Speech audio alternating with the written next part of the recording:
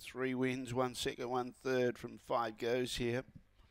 Over the 455 and he's undefeated over the 530. Green light goes on. No more bets, thank you. We're set to go. Ready? Away, Winburn Lethal began only fair, trying to muster Alfieri's going with her. She's trying to burn him off, but Alfieri's kicking up underneath him, and just behind those is Corborn Scar. Winburn Lethal can't clear Alfieri. Alfieri's got the inside, he's got the lead, and he's looking pretty good. Winburn Lethal behind those, Corborn Scar. Peruzzi Baloney's trying to make ground. Then in turn behind those was Uptime going for lead, but Alfieri returns. He loves Murray Bridge. He wins by five lengths. Second, Winburn Lethal. Third was Corborn Scar. Behind those, Peruzzi Baloney.